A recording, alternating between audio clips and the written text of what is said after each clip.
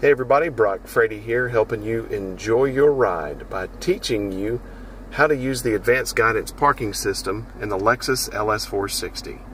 Whenever you engage the vehicle in reverse, you have an option to choose one of the two diagrams on the screen to park in a slot or to parallel park. For this demonstration, I'm going to park it in the slot. And you see whenever I hit the button. I need to turn the steering wheel a little bit. Uh, but you can see the, the green right there.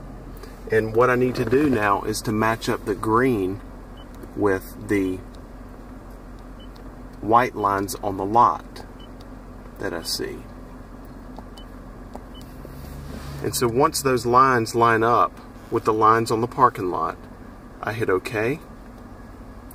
And now all I'm going to do is keep my foot on the brake lightly and I'm going to watch the steering wheel park the car.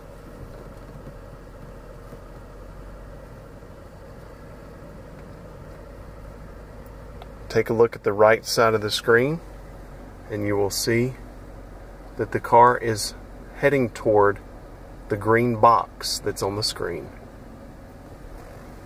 And again, I'm keeping my foot lightly on the brake and allowing the engine to basically power what we're doing right now. The guidance is finished. And look at that. Pulled me right in.